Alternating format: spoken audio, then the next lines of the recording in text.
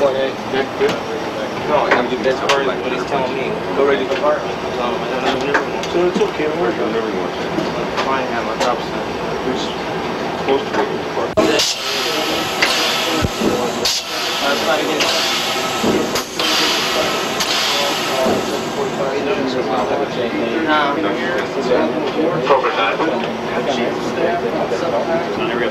again.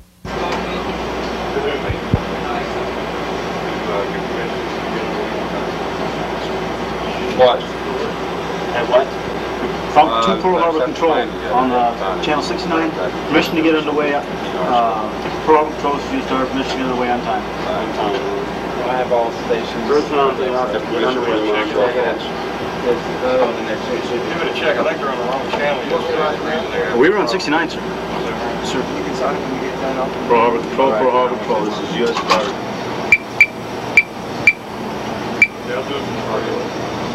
Hi, sir.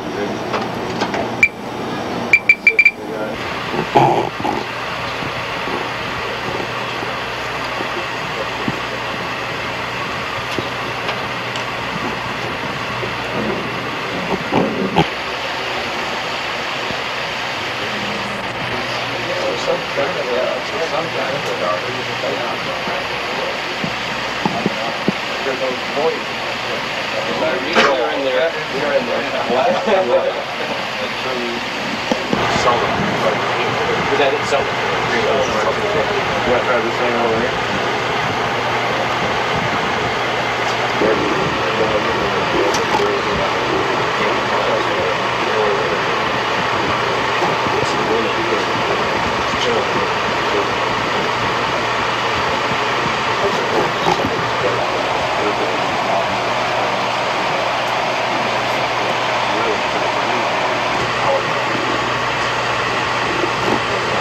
But I still think.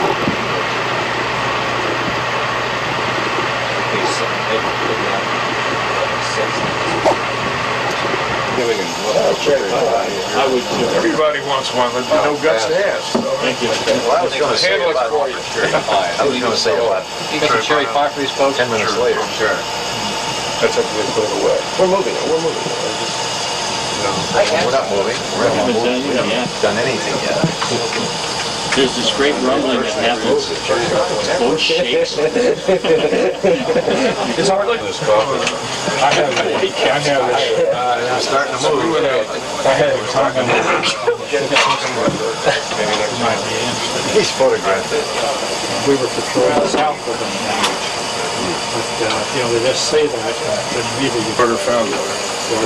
But it was chasing a Japanese freighter, wasn't it? But it was up by two. Where is this in the ocean? I don't know where it was. Yes. West, west of Okinawa. Yeah. See? Up in here. He's China's. Here's where this, right? Palawan Plaza. Oh, that's up in Philippines. Yeah. This Palawan's right here. They're Now we're right. starting to move. Yeah, because Just started. they're on the starboard to the port. Right. I think he's still got the game plan going. Go along. Those are long balls. Two, two blasts were too short. There's two left. We we were talking about three, three signals there, right? Three, I mean, we're losing. Oh, boy. For who? Yeah. Well, anyone, honorary, anyone How you- the board would feel has done. Studied all that. Oh, And I sailed because a lot of times, My first impression of saying something like that, how can you say these these guys are the better the drunk? silly uh, tugboats are coming out of harbor. and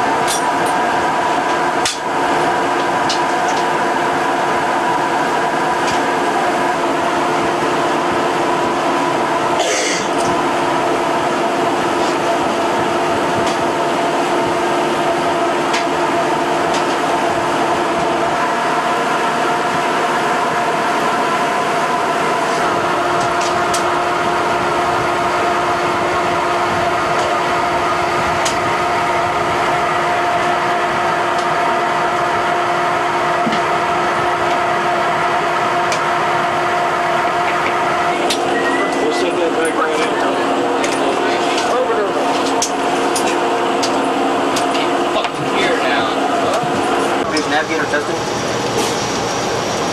Signal tone. Or, yeah, okay. Commission have you requesting this one to re-energize the underwater law.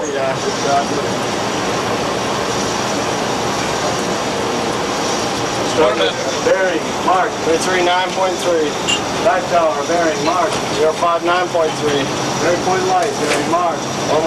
119.6. On board, told you on track, recommend course 307. I'll tell Reese what you do. Down the signal tower, tell you where we're at. Alright. Signal tower, bearing, mark. 225.2.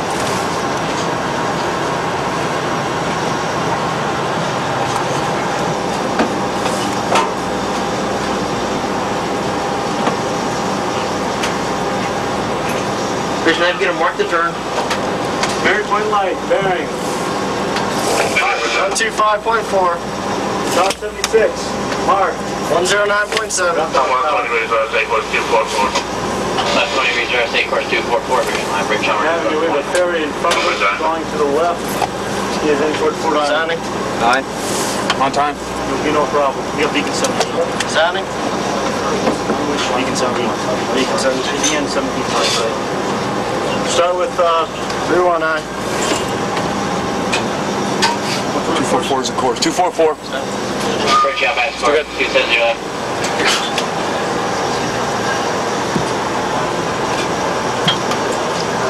Bridge out, back score, 254 left, 10 degrees, 4 course 2. Stand by on 76. Four. Stay. Take around. Bridge out, state course 244. Signal tower, mark. One seven six point three. Tower 76. Bearing. Mark. One zero three point six. Beacon 17.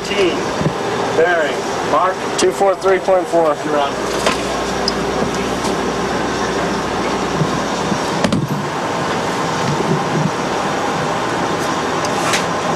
Fifty yards. Right at track, sir. beyond that. Hmm. But that's, that's side of it. And as a matter of fact, you, you, maybe you don't know, some of the guys do, I get. There was special sand on the inside of those, the core of those propeller shafts. And it had to be a special, special sand that the Navy gave us. And it had to be vibrated. It was stood on end, like, you know, like so vertical, and vibrated. All 60 feet of the shaft. Oh, yeah. No, no, not the ship, the the shaft. The shaft, I mean. And, and it had to have a certain compression. And uh, it- this is, this is why a lot of these things cost money. Again, to deaden the sound and have that shaft be as perfect as perfect could be. So you mean there's So you had a sand hollow inside the shaft. shaft? Inside, yeah. interesting. Well, that's confidential, but I guess it's out now, so. uh, You're gonna go to jail. No. They've got that recorded. That's No, prima facie evidence. I could write a book about Admiral Rickover. I was supposed to, I was, went to Chief Naval Operations Office. I was supposed to be the liaison between CNO and Rickover's organization. We started out in pretty good relations, but I started crossing a little. Finally, I ended up as that bad guy over that white-haired captain in your office. And when I came to SUBPAC staff in uh, 1960, Rickover had called uh, Admiral Benson and said, if you don't want that guy Cooper on your staff, he's going to follow you up. I want to say one thing about Admiral Rickover, and this is on the positive side. If it had not been for him and the characteristics that he had, we had not made the advance that we did. that's right. The DOD was over there trying to tell the Navy all types of reactor programs to develop and everything else. And I don't know anybody else who could have stood up against that type of pressure. Sure. And I was sorry to see that uh, in his later years that he was punished by the Navy for allegedly accepting some gifts for his wife that I oh. think combined weren't more than fifty or sixty or seventy thousand dollars. Because for a long, long time, it was customary, if somebody commissioned a ship, the gift was given to the person who commissioned the ship. Sure, that's right. And it may be known that he rode third class on planes all over the world, you know, save the Navy money. And uh, really was truly dedicated to uh, develop. He hadn't, as you say, but we mean, okay.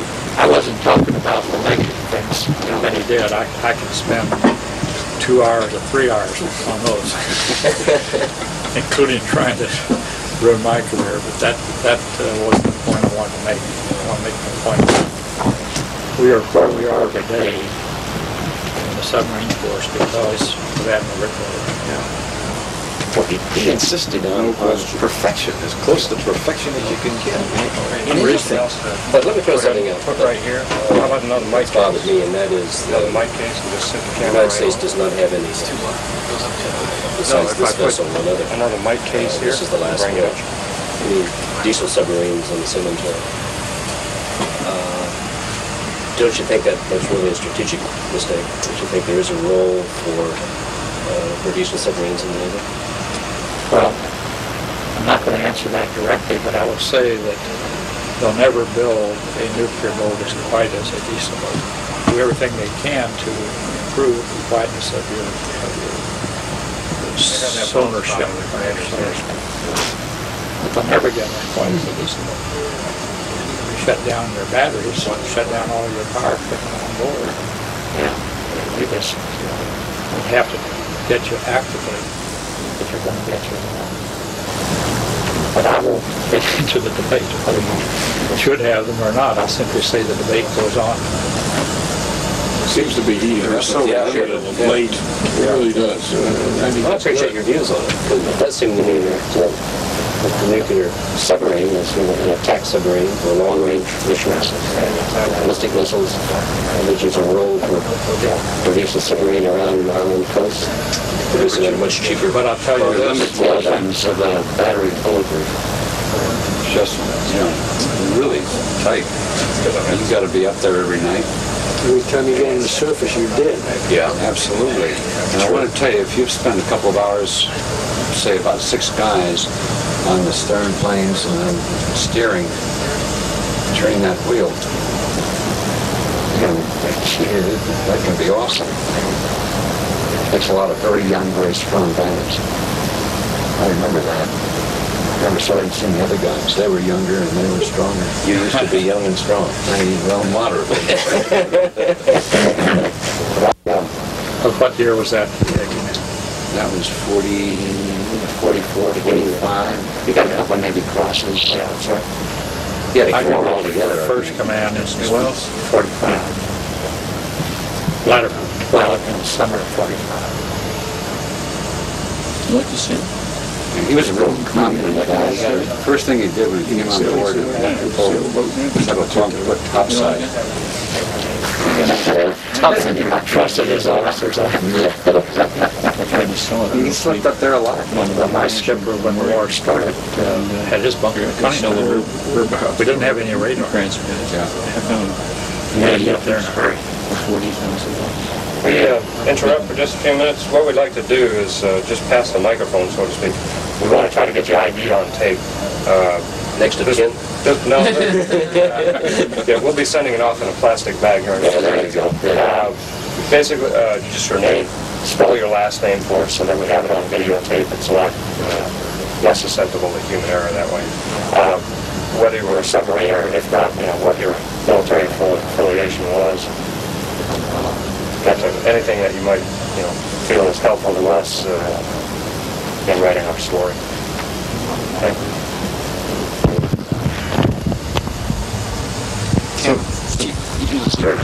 You. Oh, okay, okay, great. The submarine, okay.